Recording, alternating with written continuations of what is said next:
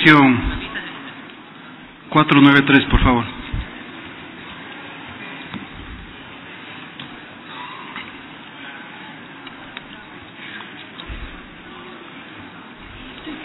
Buenas tardes, señor presidente. Buenas tardes, señoras y señores. Señoras y señores asambleístas, por favor, sírvanse registrar en sus curules electrónicas. De existir alguna novedad, por favor, informar a esta secretaría. Gracias.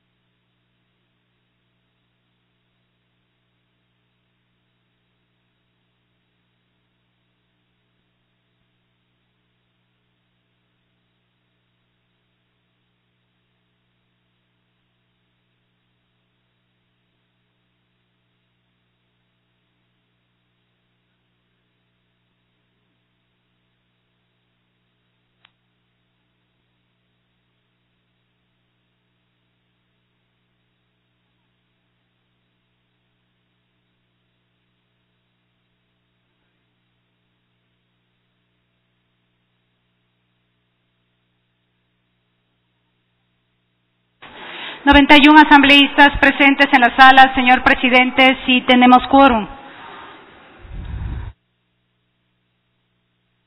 Siguiente punto del orden del día, señora secretaria. Tercero, posesión de la señora psicóloga María Alejandra Vicuña Muñoz como vicepresidenta constitucional de la República del Ecuador.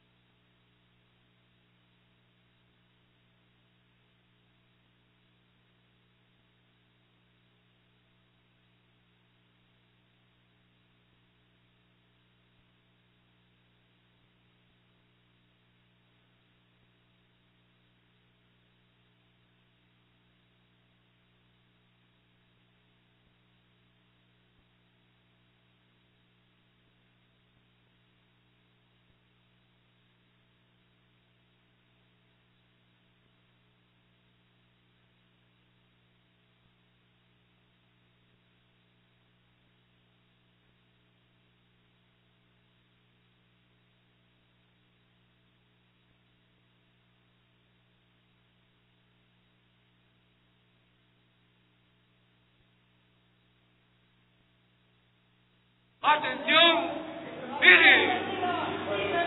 Presenten. Arre. Honores a la señorita María Alejandra Vicuña, vicepresidenta de la República encargada. Atención, vista lo de re.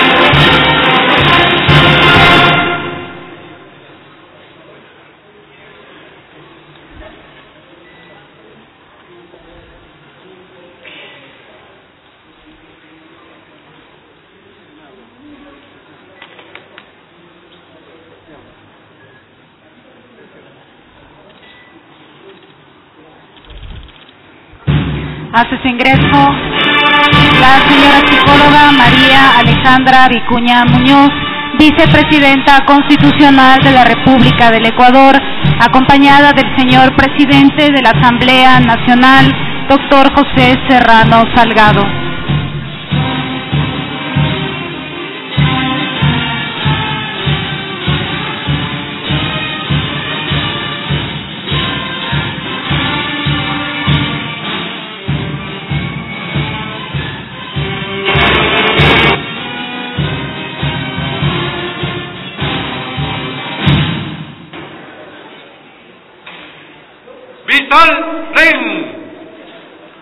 Descansen. Ar.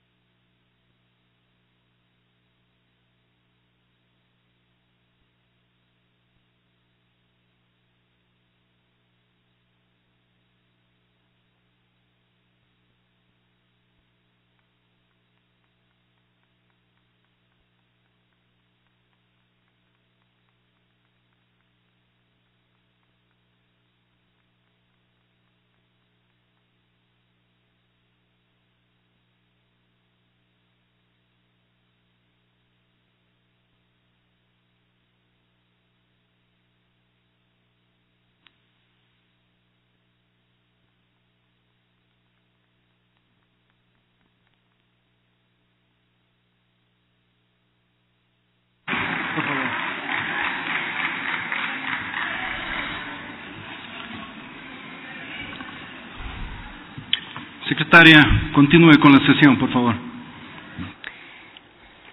Enseguida, señor presidente. A continuación, toma de juramento por parte del señor presidente de la Asamblea Nacional, doctor José Serrano Salgado, a la señora vicepresidenta constitucional de la República del Ecuador, psicóloga María Alejandra Vicuña Muñoz.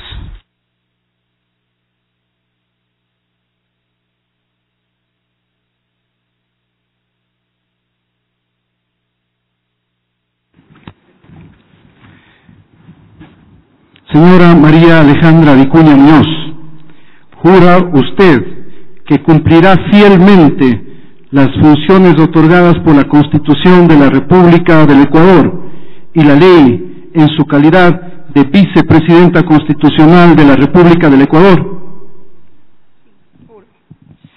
Si así lo hace, que la patria y el pueblo ecuatoriano lo reconozcan.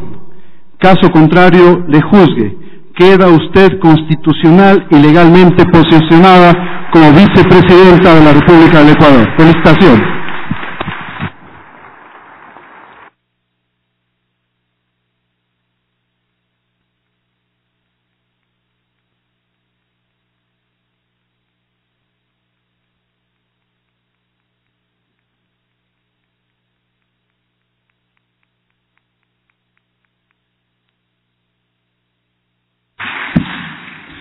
Continúe, señora secretaria. Con su autorización, señor presidente, a continuación se realizará la suscripción del acta de posesión por parte de la señora vicepresidenta constitucional de la República del Ecuador.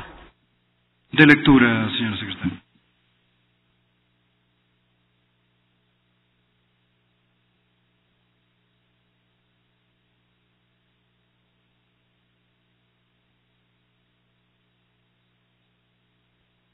En la sede de la Asamblea Nacional, ubicada en el Distrito Metropolitano de Quito, provincia de Pichincha, de conformidad con lo dispuesto en el artículo 150 de la Constitución de la República del Ecuador y artículo 43 de la Ley Orgánica de la Función Legislativa, comparece la señora psicóloga María Alejandra Vicuña Muñoz para posesionarse como vicepresidenta constitucional de la República del Ecuador ante el Pleno de la Asamblea Nacional. Hasta ahí el texto, señor presidente.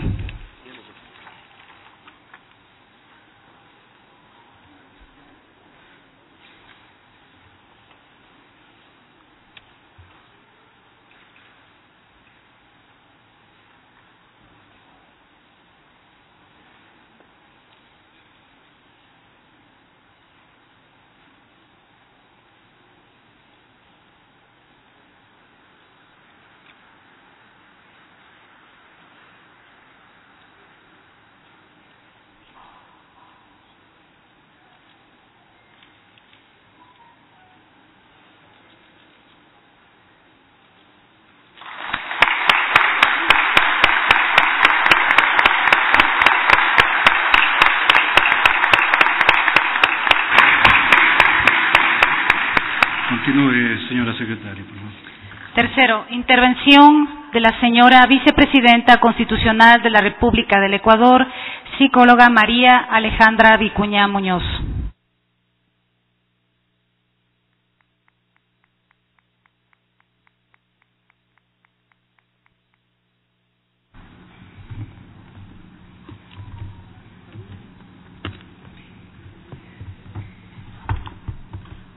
Señor presidente de la Asamblea Nacional, compañero José Serrano Salgado, señor Carlos Bergman, primer vicepresidente, señora Verónica Arias, segunda vicepresidenta, señores y señoras asambleístas, compañeros ministros y ministras de Estado, autoridades de las distintas funciones del Estado, cuerpo diplomático, autoridades de control, Querida familia, mi soporte, mis compañeros.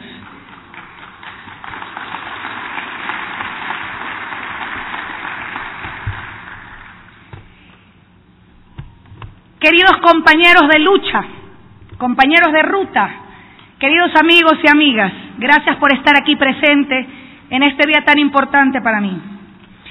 Ecuatorianos y ecuatorianas, en primer lugar, permítanme expresar mi profundo agradecimiento al compañero y amigo, presidente Lenín Moreno Garcés, por la confianza puesta en las mujeres ecuatorianas, la misma que ha expresado de forma clara y frontal al conformar la terna que ha sido presentada a la Asamblea Nacional por tres mujeres, que sorteando todos los desafíos de lo que implica ser mujer en la política, hemos dado nuestro mayor esfuerzo y dedicación en la construcción de una nación del tamaño de los sueños de nuestro pueblo.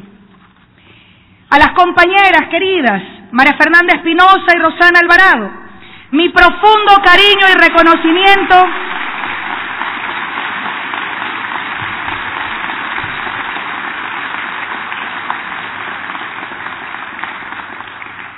por su entrega a las causas más nobles, a estos años entregados al fortalecimiento y profundización de este proyecto político, que ha sido solo el inicio de una gran tarea por conquistar la soberanía nacional con justicia social, desarrollo económico y absoluta convicción democrática.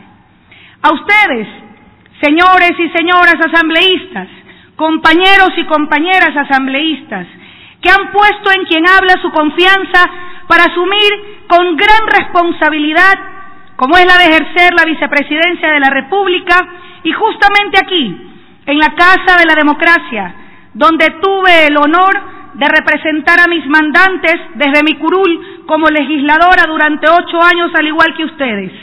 Quiero expresarles mi profundo compromiso para desempeñar este cargo con total honestidad, transparencia y compromiso al servicio del pueblo ecuatoriano y de sus anhelos. Son complejas las circunstancias de la política nacional en las que asumo esta enorme responsabilidad histórica, pero es precisamente en estos momentos donde debe verse el temple de quienes nos asumimos como revolucionarias. En estos días, cuando debemos ser capaces de defender con más fervor y vehemencia los principios con los que iniciamos este proceso. Jamás traicionaremos la confianza que el pueblo ha depositado mediante el instrumento más poderoso que tiene el ciudadano en nuestra democracia, el respaldo en las urnas a un proyecto político que ha logrado transformaciones profundas y que se proyecta hacia el futuro en beneficio de todos.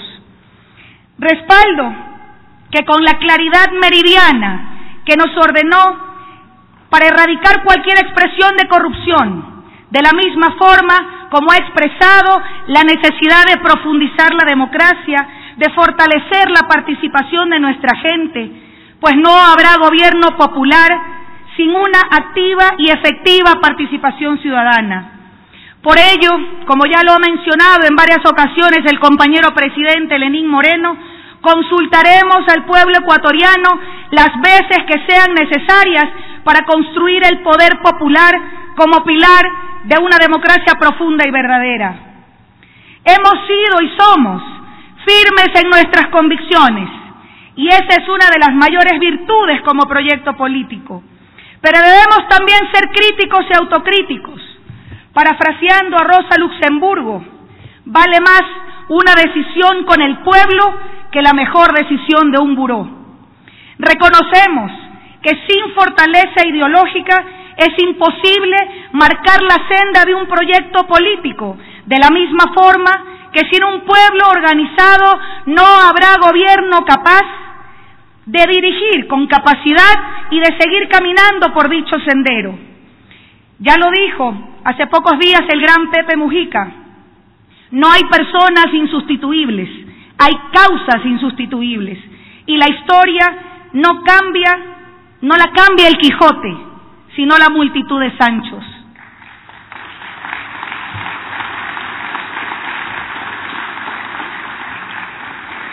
Así como este, que es un gobierno del reencuentro, de la unidad nacional, esta vicepresidencia será para la gente y con la gente.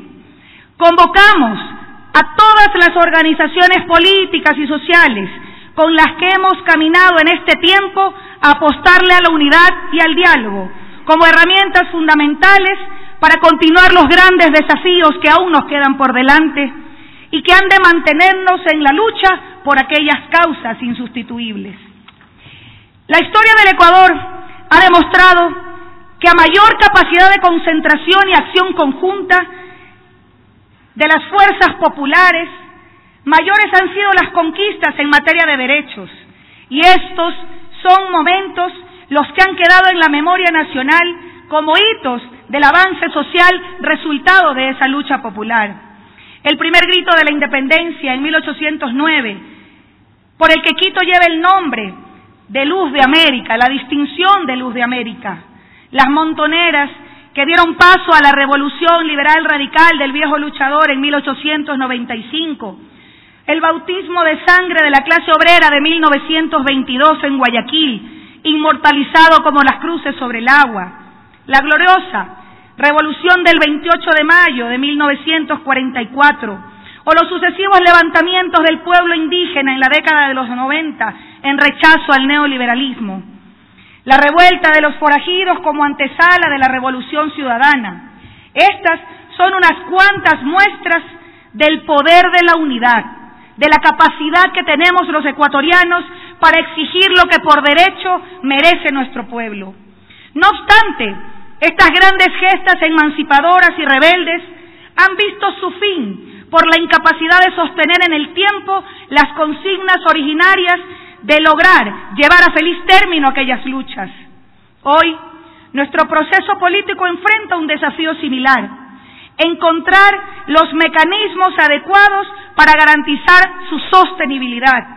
Y el diálogo, sin lugar a dudas, es uno de ellos para mantener esta unidad, para sortear las diferencias y enfrentar las reales contradicciones sociales del país. Por ello hemos apostado con tanta fuerza y vehemencia al diálogo nacional, no como un mecanismo para apagar incendios o enfrentar coyunturas, sino como una verdadera forma de gobernar, porque creemos que podemos construir grandes acuerdos, porque confiamos en nuestra gente y en su capacidad para ver lo que nos une, porque entendemos que la política de la imposición puede ser efectiva por un tiempo, pero no será ni duradera ni fortalecerá un proceso político. Porque tenemos convicción de que dialogar no es ni doblegar ni invalidar el criterio ajeno, sino porque el diálogo reafirma las saludables diferencias en democracia. Somos un gobierno de un diálogo que escucha, que entiende razones y que a partir de eso actuamos no solamente con la legalidad de un cargo, sino con toda la legitimidad de una sociedad que se construye desde la diversidad. Queridas y queridos compañeros y compañeras, unidad, diálogo y democracia son la base de nuestro gobierno, de su gobierno, del gobierno de todos y de todas. Democracia para construir, diálogo para avanzar, unidad para vencer, para vencer las grandes las causas estructurales de la pobreza y la exclusión que nos han postergado del desarrollo pleno. El mandato popular con el que este proceso mantuvo el gobierno a lo largo de este tiempo no fue de ninguna manera un mandato para administrar el Estado solamente, sino para transformarlo, para fortalecer las los grandes e innegables avances, pero también las últimas elecciones nos dieron un mensaje. Hay cosas que cambiar, hay que reconocer los errores y enmendarlos, superando cada día y construir una sociedad de todos y todas, un país con igualdad de oportunidades, una economía estable pero con equidad, que el crecimiento económico implique las mejores condiciones para todas las mesas, crear empleo de calidad, fomentar la producción y la generación de riqueza para la satisfacción de las necesidades básicas de todos los hogares, especialmente de los más pobres.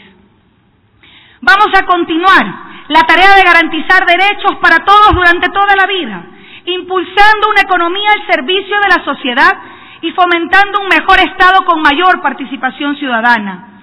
Una sociedad para que nuestra juventud pueda crecer y crear, libre y plena, apostando fuerte por ella y a su derecho a la educación en todos los niveles y el acceso a su empleo de calidad, al emprendimiento y que potencialice sus capacidades como motor de cambio profundo del Ecuador. Somos unos convencidos de que nuestra mayor riqueza no está bajo tierra, de que nuestra mayor riqueza está en las capacidades de nuestra gente, en nuestros niños, niñas y adolescentes, en nuestros jóvenes, para ser los creadores de un país generador de conocimiento, ese bien que nunca se acaba y con el que la humanidad ha llegado al nivel de desarrollo del presente. Pero también trabajamos sin descanso por nuestros adultos mayores, reconociendo su esfuerzo durante toda una vida y el aporte enorme al país, que en muchos de ellos no fue siempre retribuido durante décadas. Si hablamos de esfuerzos, no podemos dejar de ver en nuestros migrantes a los sacrificados de la patria, a los exiliados de la injusticia y la corrupción, comunidades de ecuatorianos que aún lejos de su país no lo han olvidado. Ustedes, queridos hermanos migrantes, sepan que pueden contar en su gobierno, en el gobierno de todos, que su lindo Ecuador, como dice la canción hecha himno, está esperándolos también, viendo por ustedes en donde se encuentren. Queremos un país que incluya, que nadie se quede fuera, que nadie se quede atrás. Y las conquistas de aquella revolución de las discapacidades que, que lideró Lenin Moreno como un referente no solo regional, sino mundial, se fortalezca cada vez más a partir del trabajo incansable y solidario de nuestras manuelas y de una política pública integral en su beneficio.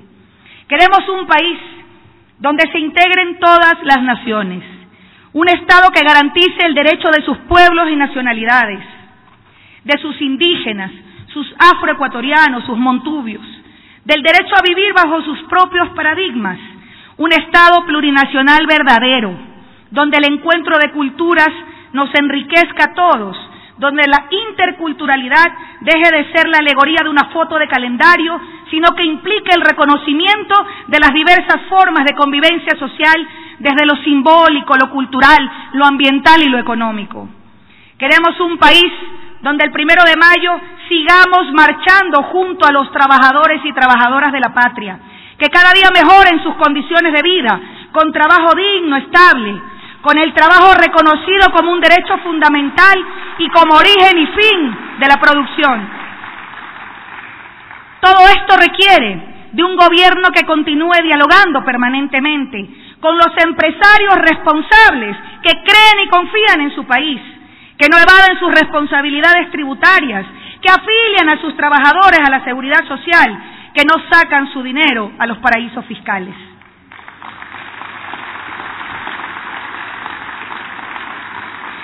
Un gobierno que continúe logrando acuerdos con, acuerdos con un sector empresarial que contribuya al fortalecimiento de la economía para generar condiciones que procuren la generación y la creación de nuevos empleos de calidad, que impulsen prácticas innovadoras y agregadoras de valor en los distintos sectores productivos, como aliados estratégicos de una gran agenda integral de reactivación económica, que es también una de nuestras prioridades. Queremos un país para las mujeres, donde los 8 de marzo no tengamos que encontrarnos gritando nunca más, ni una menos. Y para ello debemos enfocarnos en empoderar a las mujeres, en garantizarles condiciones de equidad y mecanismos concretos para la garantía de sus derechos y de su autonomía. Hemos hablado fuerte y claro la violencia machista no solamente menoscaba la dignidad de las mujeres, vulnera nuestra democracia y a la sociedad en su conjunto. No habrá campaña efectiva posible contra la violencia de género si no emprendemos, sin vacilaciones, la tarea de cambiar paradigmas socioculturales que tanto daño nos han hecho como sociedad.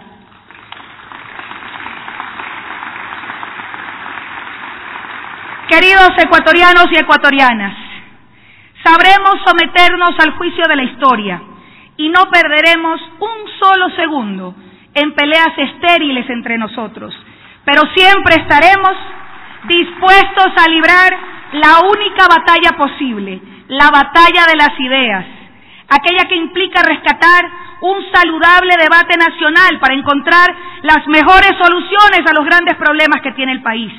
La política, desde siempre, la hemos asumido como aquella pasión por el servicio a los demás. Hoy, sobre esta guayaquileña enamorada de su patria, se encomienda una tarea en la que espero siempre tener su compañía y respaldo. Con el ejemplo libertario de Bolívar, de Alfaro, de las Manuelas, de Mamá Tránsito y los Dolores, de los miles de hombres y mujeres que juramos lealtad y compromiso a nuestro pueblo y a los ideales de siempre impulsar más libertad, más democracia, justicia social, progreso y buen vivir, ideales siempre vigentes. Mucho de lo que he dicho hoy seguramente ya lo habrán oído de boca del propio compañero presidente Lenín Moreno, pues desde el 24 de mayo hemos venido trabajando en cada uno de estos temas y en muchos más, con un equipo integrado de hombres y mujeres que gestionan la política en beneficio de nuestra gente y no de intereses particulares. Un valioso equipo que va desde los ministros de Estado, pero que se sostiene en los miles de nombres de hombres y mujeres, funcionarios y servidores públicos que cumplen responsablemente su trabajo y a los que pedimos el mayor empeño para ser mejores cada día.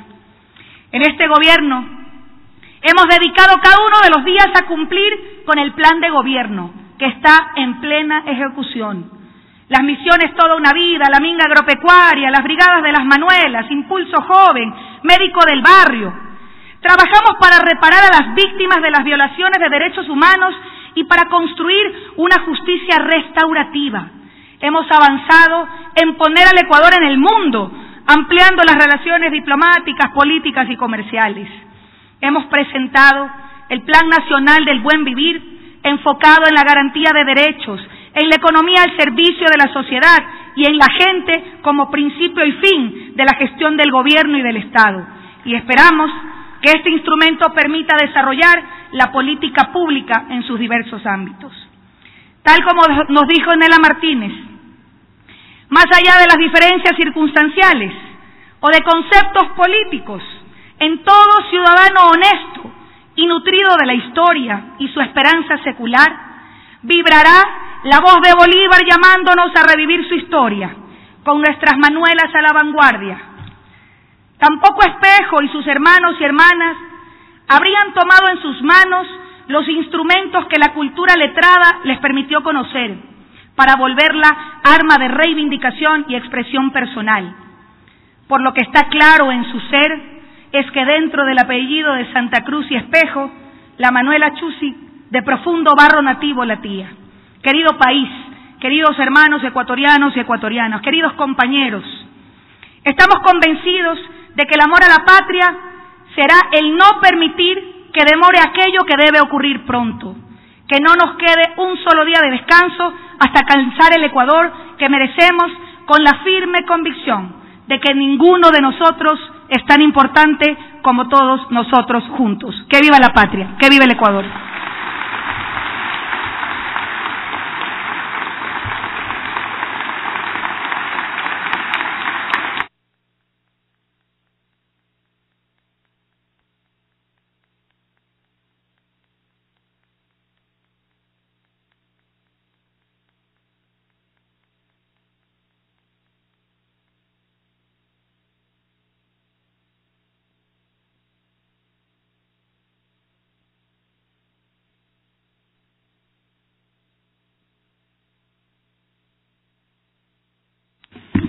El señor presidente constitucional de la República ha remitido un oficio excusándose de participar en esta sesión por cuanto tuvo un accidente hace algunos días, un accidente menor, pero que le impide estar en esta sesión.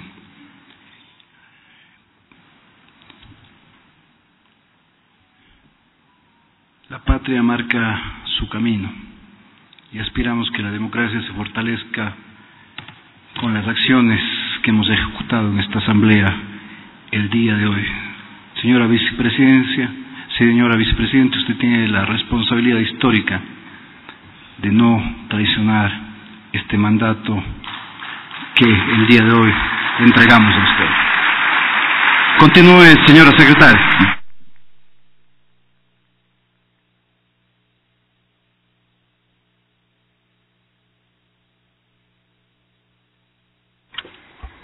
Salida de la señora vicepresidenta constitucional de la República del Ecuador, psicóloga María Alejandra Vicuña Muñoz, acompañada del señor presidente de la Asamblea Nacional, doctor José Serrano Salgado.